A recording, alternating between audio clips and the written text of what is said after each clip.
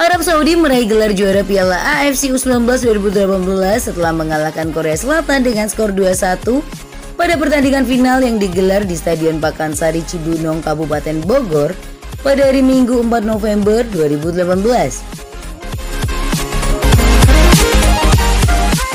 Gelar ini menjadi yang ketiga diraih Arab Saudi sepanjang mengikuti Piala AFC U19 atau yang pertama dalam 26 tahun terakhir. Arab Saudi tampil menekan sejak awal laga. Tak butuh waktu lama, Arab Saudi berhasil membuka keunggulan lebih dulu melalui aksi Turki Al-Amanah.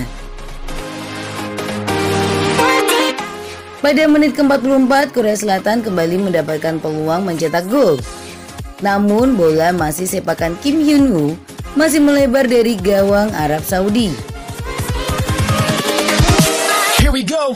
Korea Selatan akhirnya mendapatkan tendangan penalti pada menit ke-63 setelah Muhammad Al Sankiti melanggar John Sejin di dalam kotak terlarang. Hasil skor 2-1 keunggulan Arab Saudi. Sedangkan timnas Indonesia U19 saat ini sukses mengimbangi Arab Saudi di Kroasia pada International U19 Friendly Turnamen di Kroasia.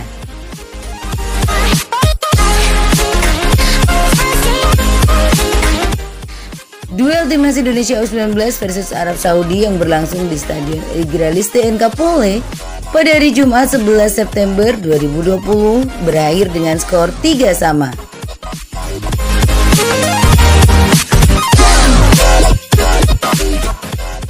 Bagaimana pecinta bola? Jangan lupa berikan kritik dan saran di kolom komentar ya.